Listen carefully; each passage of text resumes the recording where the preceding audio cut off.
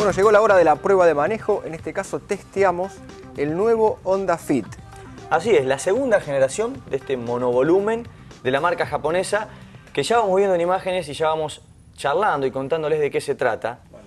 Decíamos, Víctor, esta es la segunda generación de un auto que nació en Japón en el año 2001. ¿Vamos a hacer un poquito de historia? Vamos. Para que la gente lo conozca bien. Em, fue desarrollado bajo una plataforma global que eh, allí se llamó Jazz, denominado como Honda Jazz. Comenzó a venderse en Europa y con un éxito inmediato. Dos años más tarde se inició la producción aquí en Brasil, en la zona Mercosur, en la planta de Sumaré, donde se fabrica hoy en día.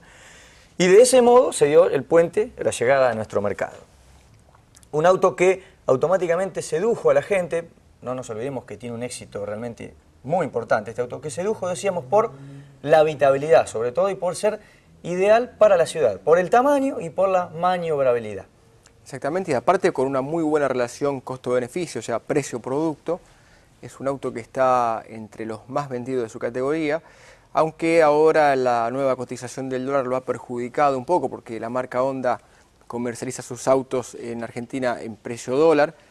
Eso sucederá así hasta que no abra la nueva planta y se convierta en una marca nacional. ¿no? Em, y lo que tenemos que decir básicamente en lo que tiene que ver con la estructura del auto, que creció el tamaño para, lógicamente, aprovechar un poco mejor también esta estructura, esta carrocería y dar más habitabilidad. Creció, Víctor, le comento, 7 centímetros a lo largo la carrocería y 2 a lo ancho. Sin duda, es un atributo que se sigue manteniendo en esta segunda generación del Honda Fit, es su habitabilidad y lógicamente el trabajo que se hace para poder aprovecharla al máximo posible.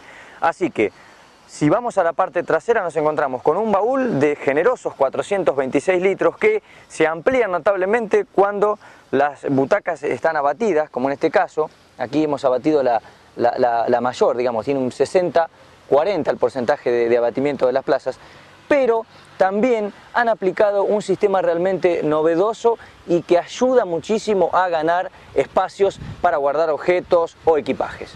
Una vez que podemos plegar esta butaca en su posición normal, vamos a encontrar que debajo hay unos anclajes, una especie de barras que se destraban muy sencillamente y con este accionar levantamos así, trabamos acá y tenemos todo este espacio para aprovechar. Y al mismo tiempo, en esta butaca más ancha tenemos una práctica bandeja para guardar alguna cosita en secreto, algo que, no querramos que se vea en el habitáculo a simple vista.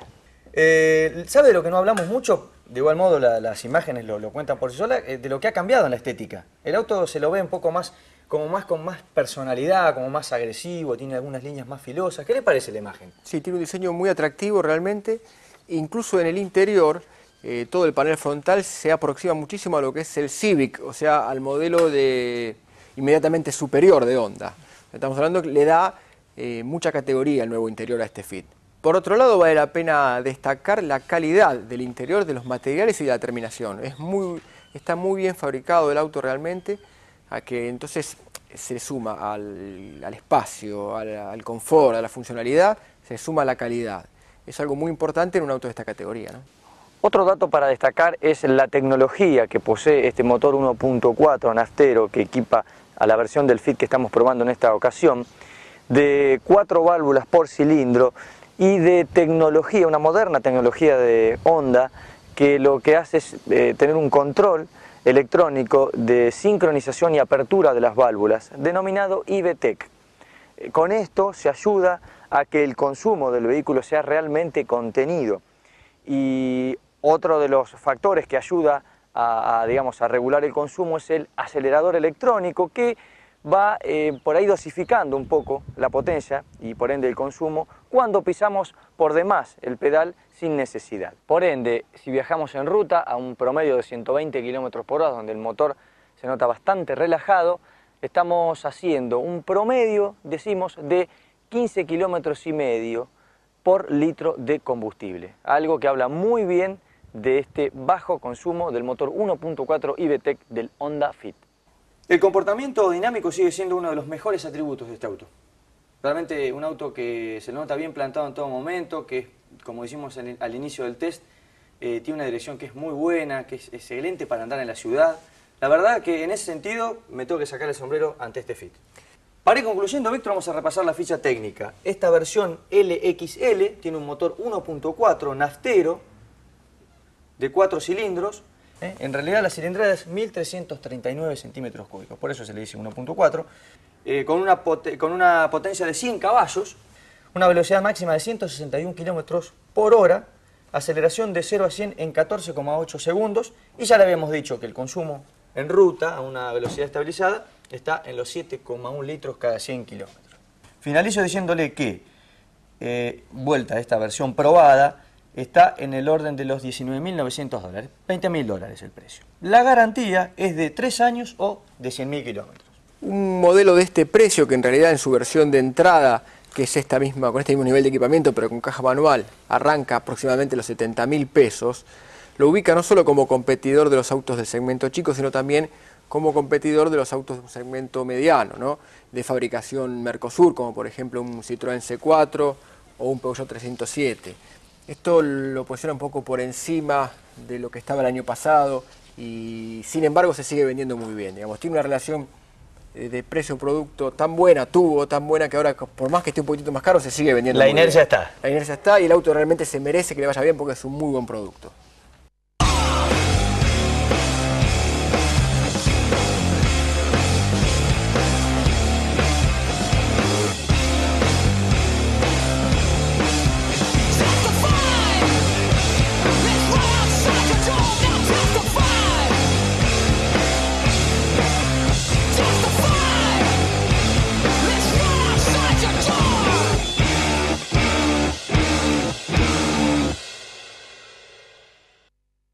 Así de este modo pasaba la prueba de manejo al nuevo Honda Fit 1.4. Y de este modo también llegamos al final del programa, así que vemos unos avisos y nos despedimos. Actualización 4x4. La firma británica Land Rover del grupo Tata Motors presentó la edición 2010 de sus modelos Range Rover, Range Rover Sport y el Discovery 4. Estos todoterreno combinan un elevado nivel de prestaciones con nuevas motorizaciones que reducen el nivel de emisiones de carbono.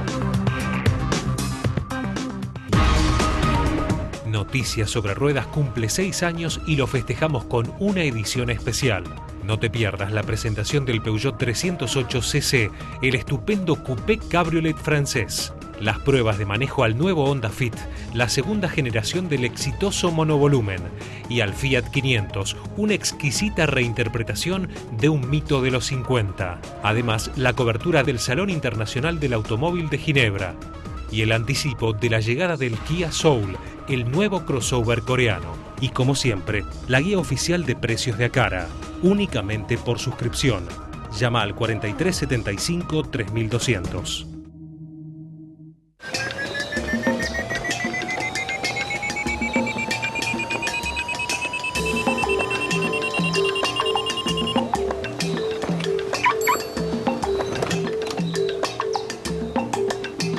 Vende tu auto así de fácil. Subilo a deautos.com.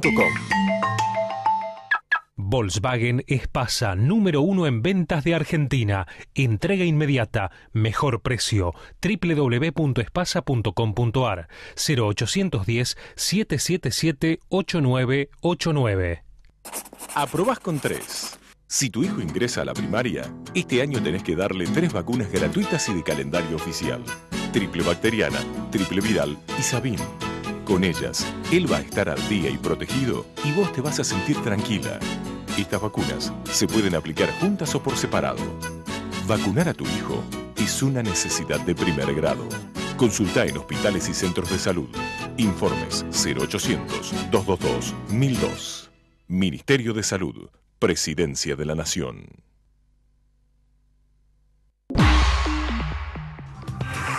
Este, señoras y señores, es el final del programa. Se nos terminó por el día de hoy. Se nos terminó, pero si quiere volver a vernos, ¿dónde lo puede hacer? Lo puede hacer a través de www.noticiasobreruedas.com.ar y además puede leer la nota de la revista Sobre Ruedas y consultar la guía de precios de acá.